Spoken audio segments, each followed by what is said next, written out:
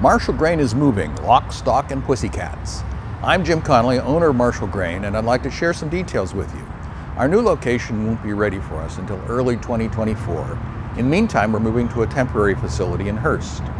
Although the temporary location won't have retail space like we have here, you'll be able to shop online or place orders by phone.